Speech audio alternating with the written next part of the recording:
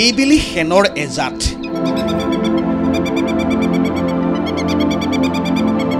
তথ্যচিত্ৰ নিৰ্মাতা সৌনক সেনে ভাৰতবৰ্ষলৈ কঢ়িয়াই আনিব পাৰে অস্কাৰ বঁটা।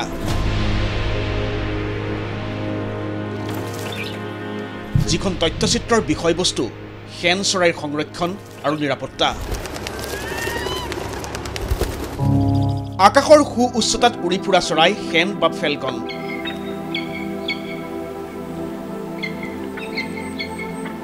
ইহঁতে আশ্ৰয় লয়। উচ্চতাৰে যোৱা তাৰ ওখ গছৰ ডাল আদিত। কিন্তু সমগ্ৰ পৃথিৱীতে সেন চৰাইৰ সংখ্যা কমি যাব ধৰিছে অতিকে উদ্বেগজনক ৰূপত। দিল্লীৰ উপকণ্ঠৱৰ্তী এখন সৰু গাঁও ৱাজিৰিবাদ।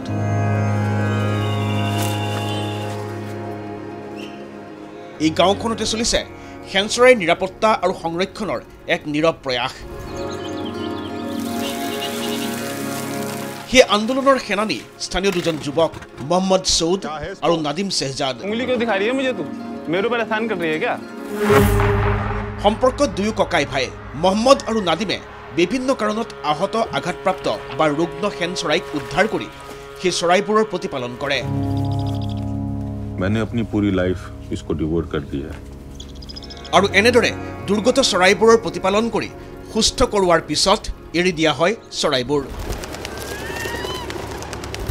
মহম্মদ আৰু নাদিমৰ এই প্ৰয়াসকে কেমেৰাত বন্দী কৰিছে দেশৰ নৱপ্ৰজন্মৰ প্ৰতিভাৱান ছবি নিৰ্মাতা সৌনক সেনে। নিৰ্মাণ হৈছে এখন মননশীল তথ্যচিত্ৰ নাম অল ডেট ব্ৰেডছ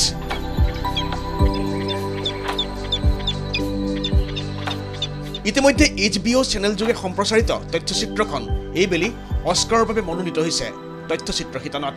আৰু ইতিমধ্যেই অস্কাৰৰ টপ ফাইভ ডকুমেণ্টেৰীত অন্তৰ্ভুক্ত হৈছে সৌনক সেনৰ অল ডেট ব্ৰেডছ এতিয়া ফলাফলৰ বাবে বাট চাব লাগিব অস্কাৰৰ বঁটা ঘোষণা কৰাৰ দিনটোলৈ। News desk N D twenty four